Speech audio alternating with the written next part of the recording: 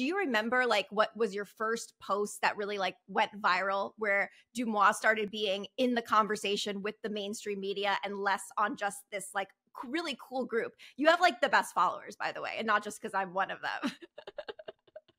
the turning point really came in January of 2021 when the world started getting back to normal. Somebody had sent in a tip that Harry Styles, they sent in a blind item. So it didn't say Harry Styles and Olivia Wilde, but somebody had sent in the tip that Harry Styles and Olivia Wilde had attended his manager's wedding together in Santa Barbara. And that was really the turning point. And then after that, the floodgates opened.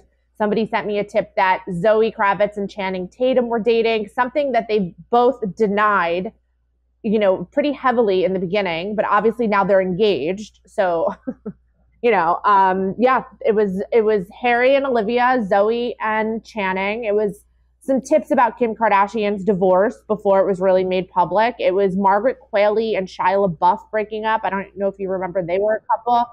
Um, it was about Kendall's 818 tequila before it launched. All that got set into me before their traditional news media was able to write about it.